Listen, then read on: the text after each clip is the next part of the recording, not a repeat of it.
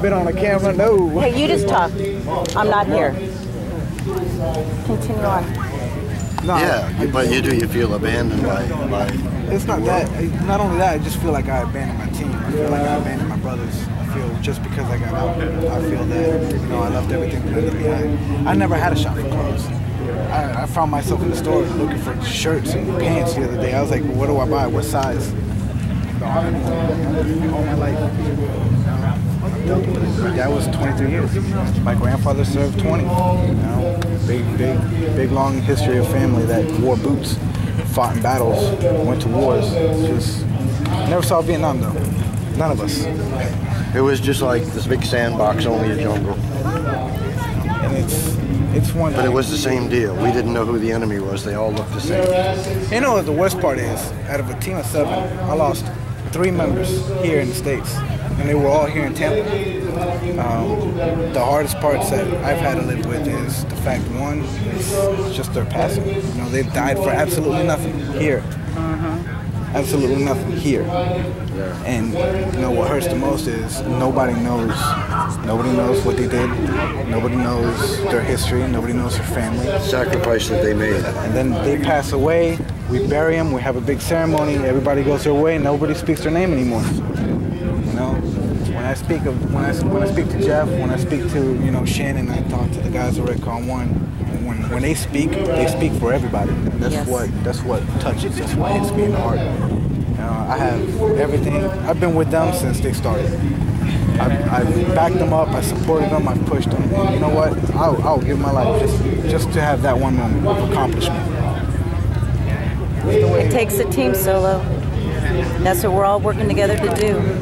It's difficult, but like she said, we all have to speak out. Yeah. Hopefully, That- that's a big thing. You have to speak out. 200 plus people out here. I mean, why not? They're hearing the message today too. But these are people who will speak out to other people. That's what we want to do, spread the message. That's what it's all about. Because we can't do it alone. No. You know, it takes a team. I'm proud. I'm happy that I'm out here. Right on. Yeah, you're with your brothers and sisters.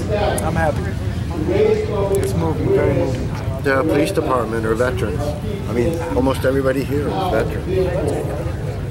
So they know how you feel. They know what you're going through. Glad you're here.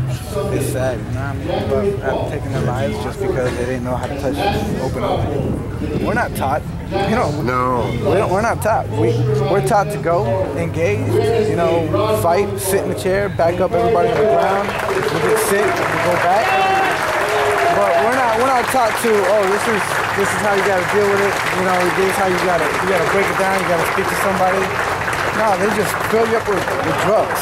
It's usually, like I said, They treat the symptom, but they don't treat Yep. the cause. Yep. Yeah.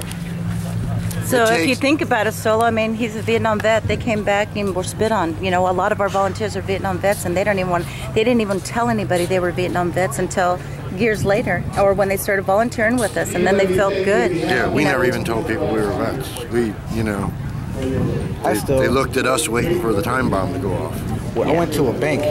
I went to um, Bank of America on Dale Mabry in Tampa, and I had I was in uniform. I was, I was out there doing lunch, and I had this lady. She's like, "Baby, don't with, to her child, don't look at that baby killer." I was like, "Excuse me? Hold on. First of all, first of all, I'm not a baby killer. I'm a soldier."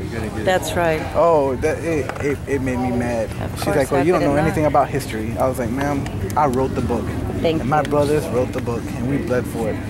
And you're here, able to say that because of people like me. That's right. If not, you'd be saying it in German, Vietnamese. That's right. every- That's every right. Or, or we'd book. be fighting here.